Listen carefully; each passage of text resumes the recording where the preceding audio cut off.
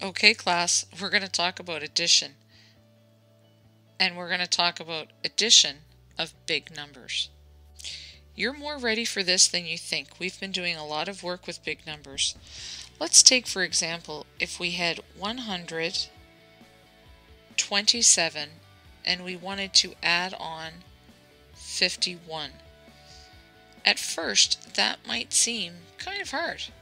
But the key is we need to line up these numbers. We need to put them in columns that show their place value. So to do that, I'm going to actually erase 127 and 51 and I'm going to organize it a little differently. I'm going to write it like this 127 plus 51 and then I'll put in my equal sign. You can see how I've lined everything up. The other thing we're going to think about is using our base 10 pictures. We're good at that. We know how to use our base 10 pictures. 127 is 100, two tens, and seven ones. 51 has no hundreds, but it has five tens, and one one. Look how easy it is to put those together.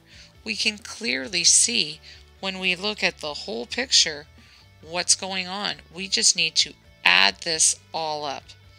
And so we can see that our answer is 100. It is seven tens and it is eight ones. That means 127 plus 51 equals 178. Yay! Okay guys, let's move on to uh, bigger numbers, a little more challenging. Let's look at 507 plus 120. We know that the first thing we need to do is line those numbers up in columns so that it's easier for us to visualize adding them together.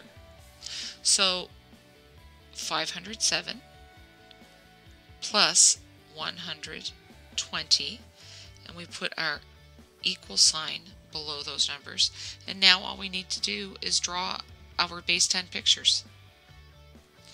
So 507 has 5 hundreds.